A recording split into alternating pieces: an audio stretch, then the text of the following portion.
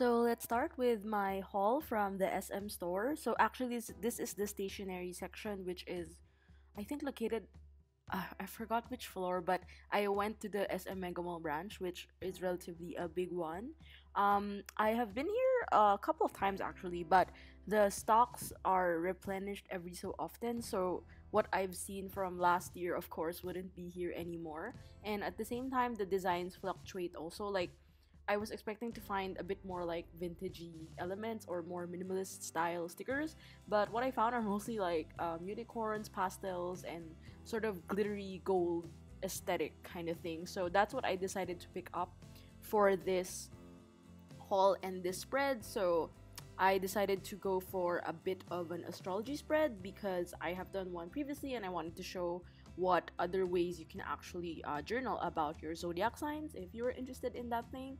For me personally, it's also a way to discover more about yourself.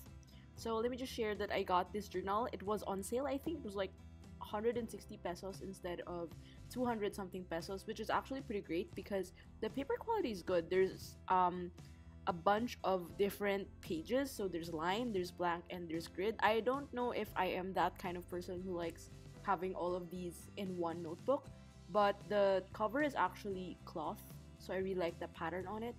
So this washi tape is also pretty unique. I've never seen something like this and it reminds me of, you know, very much like astrology and I have been on the hunt for mystical slash sparkly slash like pastel and metallic sort of uh, washi tape designs because that's quite rare to find because usually when you see in stores it's usually just the plain colored ones and patterned ones but not much of this like mystical. Or in my case because I also actively don't look for them when I shop online.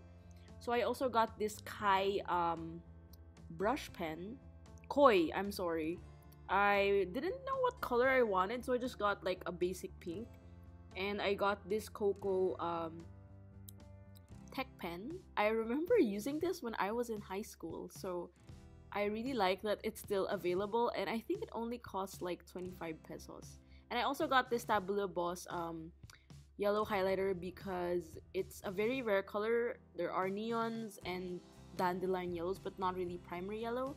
So I'm gonna start with um, doing some brush lettering. For me, um, when you are in, uh, you're not having too much materials, I think it's great for you to experiment on your lettering. I mean, personally, what got me into journaling is actually the fact that I do lettering on my journals way before I got into stationery. I mean, that's a whole other world. So I try to incorporate a lot of my lettering as much as I can because that way it also helps round out the piece and make your spread look more appealing. So I always always say that when you do hand lettering, it's really important to sort of um, create hierarchies and make it stand out in a spread like this. So that's why I decided to use the pinks and the yellows for more of like sub designs. But I mean, this is really subjective on how you want to decorate your spread. I personally like this.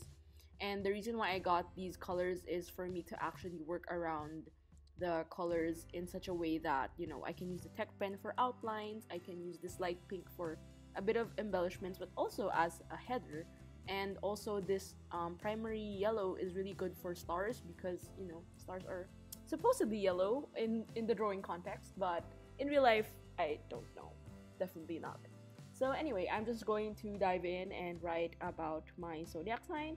I think i've mentioned this a lot of times before but my zodiac sign is sort of my perception is it's a personal um, reflection of who i am mostly because i resonate well with my sun, moon, and rising. And as much as sometimes I really hate it, I mean, it's something I have to live with.